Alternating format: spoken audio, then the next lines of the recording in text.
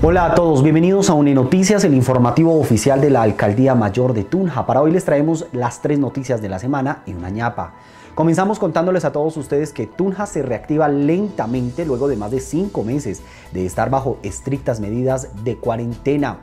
La actividad se retomó en sectores como restaurantes, centros de culto, cafeterías, entre otros. El lavado permanente de manos, el uso del tapabocas y el distanciamiento social son tan solo algunas de las medidas de bioseguridad que deben acatar puntualmente los usuarios y prestadores de servicio. Adicional a todo esto, Tunja le apuesta a una reactivación segura activando paulatinamente gimnasios, comercio, restaurantes, centros comerciales, cines y autocines. Más de 4.000 empleos retornaron a sus labores y se espera que progresivamente se activen 800 más. Para el tema de los gimnasios es necesario que los propietarios inscriban sus protocolos en el portal web www.picoycedulatunja.com. Posteriormente, deberán esperar las visitas de los funcionarios de la Alcaldía Mayor de Tunja que verificarán la lista de chequeo y aprobarán la reapertura. En el caso de los menores de edad, podrán ingresar a centros comerciales, cafeterías y restaurantes en compañía de un adulto responsable y usando siempre sus elementos de protección. Recuerden que los centros comerciales podrán funcionar con un aforo máximo del 30% en un horario de 10 de la mañana a 9 de la noche de lunes a domingo. En otras noticias, queremos contarles que Tunja cuenta con una nueva aplicación que permitirá informar las restricciones de los ciudadanos. El plan piloto se inició esta semana y en los próximos días se habilitará para los establecimientos de comercio de la ciudad. Zaida Soler, cuéntenos cuál es el fin de esta aplicación. Felipe y televidentes, quiero contarles que el botón de pánico es una nueva aplicación creada por la Alcaldía Mayor de Tunja con el fin de verificar si los ciudadanos tienen algún tipo de restricción en cuanto a la COVID-19. El gerente de Ecovivienda nos cuenta cómo funcionará la aplicación. El aplicativo consiste en que cada una de las personas eh, que sean del comercio o de diferentes sectores eh, digitan la cédula en el mismo, inmediatamente aparece en la base de datos si la persona tiene algún tipo de restricción. Si esto es positivo, o sea, si tiene restricción, se debe diligenciar la georreferenciación e inmediatamente se activa el botón de pánico, el cual a la Secretaría de Protección Social le llega un correo y inmediatamente inician los protocolos.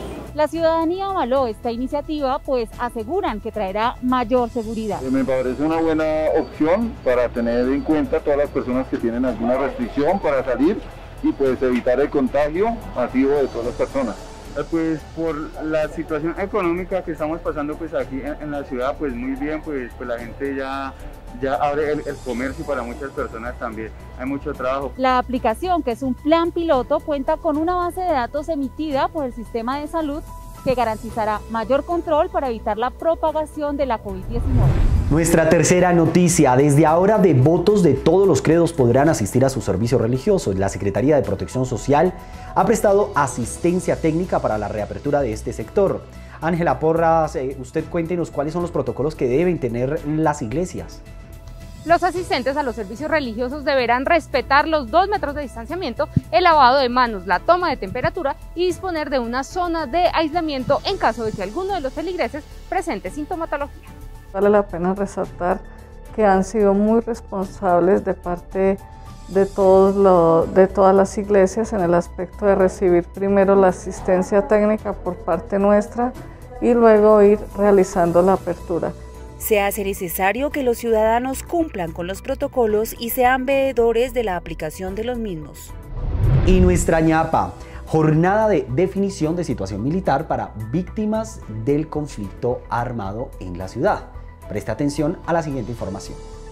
Define tu situación militar. Si haces parte de la población víctima del conflicto armado, participa de la jornada de inscripción que se realizará el próximo 10 de septiembre en el distrito número 7, ubicado en el barrio El Dorado de la ciudad de Tunja. Para más información podrá contactarse a través del correo programavíctimas.tunja.go.co o al celular 313-402-9384. Hasta aquí toda la información en UNE Noticias. Síganos a través de nuestras redes sociales, Facebook, Twitter e Instagram. Recuerden que Tunja es la capital que nos une. Soy responsable y cuido a los demás. Hasta la próxima.